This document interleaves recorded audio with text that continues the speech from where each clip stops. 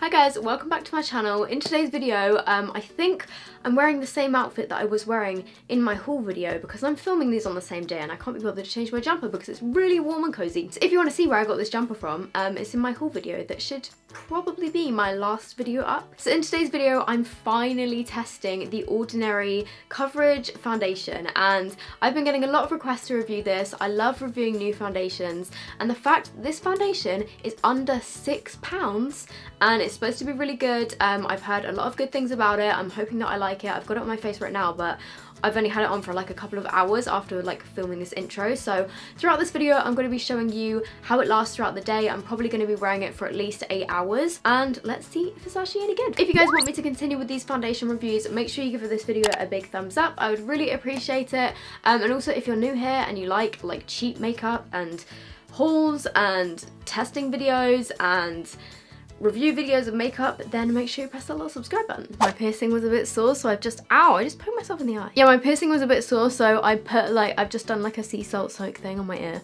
and it's really red. So for my base under my makeup, I'm actually gonna use the Ordinary Buffet, which is, it's got like a mixture of different skincare things, and this is another thing that I bought at the same time, which I mentioned in my haul. But I've really been liking it, and I've also already got my SPF on because I wear it every day. So I got this off of Cult Beauty because they didn't have my shade on Beauty Bay, um, but they do sell it on both of these. It was £5.90 and you get 30 mil of product and it says that it's a full coverage foundation um, and on the side it just says a high coverage creamy foundation that softens undesirable hues, shake before use, dispense a small amount into the palm or the back of your hand, smooth on and blend throughout the face, ideally outward from the midpoint of the face. Um, and that is basically all it says. And I got the shade 1.0N. They've got lots of different shades um, in lots of different like undertones and stuff. And I was a bit confused, I'm not gonna lie, about which one to get. But I settled on this one, which I haven't actually tested. I'm hoping it's gonna be okay. It's in a kind of frosted matte plastic tube. It's not glass, it's plastic, which is quite good because it means it's, you know, convenient for travel and stuff. And it does have a pump, which I really like. I think for £5.90 for a full coverage foundation, 30ml with a pump, is an absolute steal. Like this is literally the same price of the as the foundation that I got in Primark. Um, my eye is so itchy today. The time is 2.49 p.m. So I know that I'm putting this on quite late, but my working hours are kind of from like 12 noon until like 12 a.m. So I'm sure I'm still going to be awake later. So I imagine I'll be able to like wear this for at least like eight hours and do like some check-ins and stuff.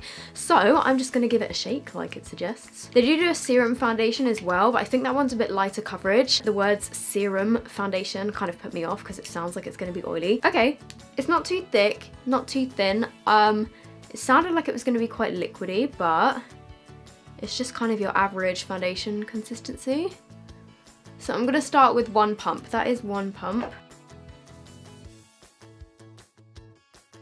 I think the shade is pretty much perfect for me, which is really good.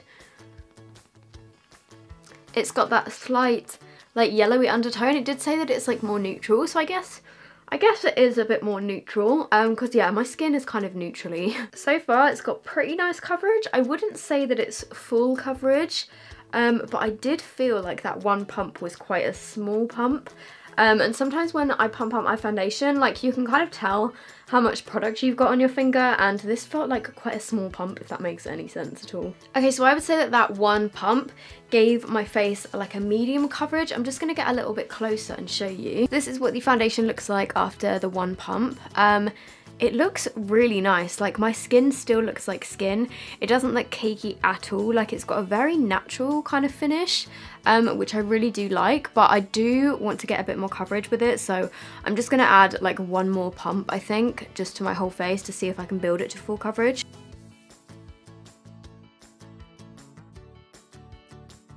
Actually, you know what? Something I'm starting to notice. The uh, buffet, which was the thing that I put on underneath this foundation, it's kind of starting to like ball up. And I know that it's not the foundation because when I put this on my face the other day, like just the buffet by itself, I kind of like wiped my face before I went to bed and it started to like ball up a little bit. And I kind of forgotten that it did that. Um, as long as I press like this, it's fine, but in areas where I've accidentally swiped with my beauty blender, you can see like the thing underneath has started to like ball up, which is a little bit worrying considering I've got it all over my face, but Um, I'm hoping it's gonna be okay. By the way, I'm still using my Sport FX sponge, which I absolutely love. Okay, so this is the foundation after the second pump. It definitely built up the coverage a little bit, but I still wouldn't say that it's like full full coverage. Um, it does have really nice coverage and this is the kind of coverage that I like to wear on an everyday kind of basis um, but it's not as full coverage as say something like the Urban Decay All Nighter or the Maybelline Superstay foundation. It's a lot more skin-like if that makes sense. Before I do my concealer I'm just going to take you off the tripod and open my curtains and show you what it looks like in natural light. Okay, um, oh I don't really know if this is going to be helpful at all because it's so sunny outside.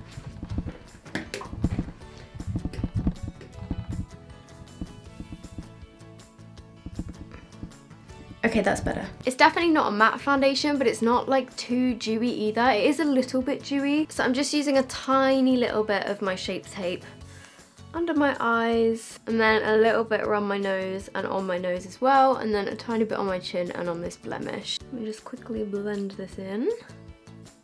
I'm trying not to bring it too far down onto my cheeks. Okay, and then I'm to powder my face because that's what I would normally do. So I'm just using my Revlon Photo Ready powder and I'm just to powder on my entire face. Okay, so now that I've powdered my face, everything is completely matte. Um, my skin is still looking really nice. I really like how the foundation looks with like the rest of my makeup done. Um, so I'm now just going to go away and do the rest of my makeup. It's probably going to be quite like glam because I'm going to go film an eyeshadow tutorial and then I'll be back to like check in throughout the day. So see you in a bit. Hello, so I've done my makeup now. Obviously, um, I'm looking a lot more made up than I was a minute ago. Well, it was a minute ago for you guys, but for me, I've had this foundation on now for almost two hours. And the time is half four, so it's just coming up to like two hours. Um, so far, it's still looking completely fine. No real changes to note yet. I just thought I would update you because I did just film another video and um, yeah, I just finished off my makeup, so I just wanted to show you my makeup really. And uh, I'm actually wearing the Ardell Magnetic accent lashes, the ones that go on like the outer half of your eyes. And when I first tried these um, magnetic lashes, I really didn't like them because I felt like you could really see the um, the magnets. But when you actually have like uh, eyeshadow on and eyeliner, I decided to give them another try because I saw that Kathleen Lights was recently like talking about how she loves these lashes.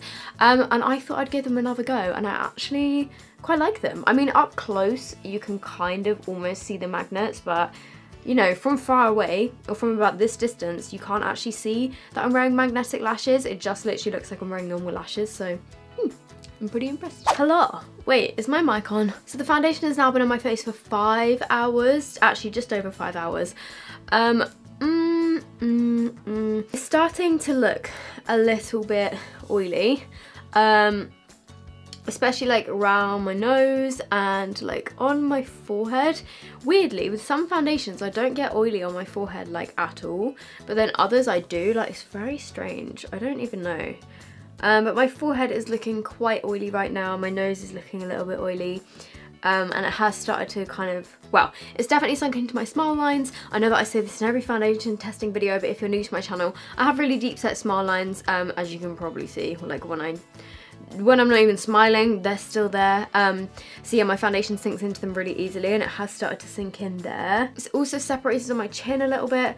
Uh, it's not my favourite, but I'm going to continue to wear it for the rest of the day.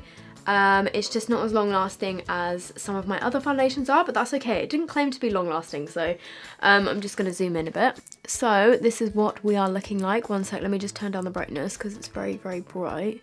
Uh, there we go. I'm hoping that helps. Look, you can kind of see how oily it is on my forehead. Like it's kind of emphasizing the texture on my forehead. Um, and also there, hopefully you can see around the size of my nose, it's starting to get pretty oily. But I imagine if I was to powder my face now, it would definitely help it last a little bit longer. I'm just kind of tapping in my smile lines. I mean, it doesn't look awful. I've definitely had foundations that last a lot less than this. Um, and by this point, like after five hours, they would literally be like a full on like oil slick. Um, I mean, it's okay, but it's just definitely not like the most long lasting foundation that I've tried. Okay, so this is the final check-in. It's 11.35, so this has nearly been on for nine hours, I think. Um, and as you can probably see, I'm looking pretty damn oily. Oh, I nearly fell over. yeah, I'm looking pretty oily. Um, It's not looking great, I have to say. I mean, to be fair, like it hasn't really separated. It's more just like looking super oily. I reckon if I was to you know, maybe after like five or six hours, if I'd have powdered my face, then this would have been a lot better. Um, but yeah, as you can probably see, look at this oil. So my overall verdict, I do really like the foundation. It's got a really nice finish and everything. It's not too like heavy or cakey on your skin, but it's definitely not the most like long lasting for oily skin. Um, I think if you have dry skin, you might like this or just normal skin, combination skin, then definitely give it a try. Even if you don't like it, it's literally like £5.90. You're not exactly, you know, breaking the bank. Um, so yeah, I think if you do have oily skin and you've got this foundation, just make sure you keep touching up your powder throughout the day and you should be fine. Um, so yeah, those are my overall thoughts. So I really hope you guys have enjoyed this video. If you did, make sure you give it a big thumbs up. Let me know what you think down below because I would love to know if any of you have tried this foundation um, and what your thoughts are and stuff. If there are any other foundations that you want me to review, leave me a comment down below letting me know and I'll read through a lot of them and I'll continue to test foundations because I really love doing it. So yeah, that is it from me. I hope you guys are all doing well and I'll see you in my next video. Bye!